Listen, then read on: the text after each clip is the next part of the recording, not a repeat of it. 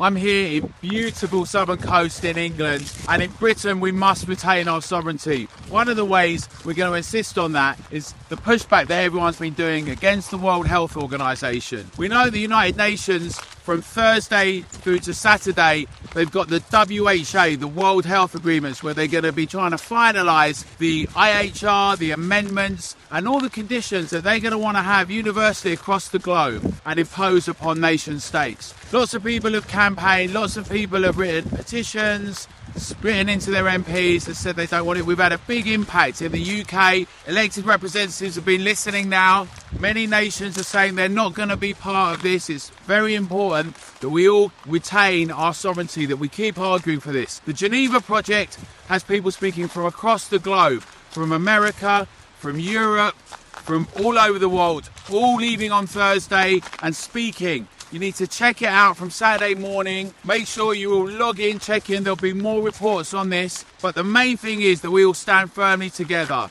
It's really essential that whilst we have a common voice around the world saying we need to retain our sovereignty, we need to hold everyone accountable and we need to make our voices strong and hold them accountable together.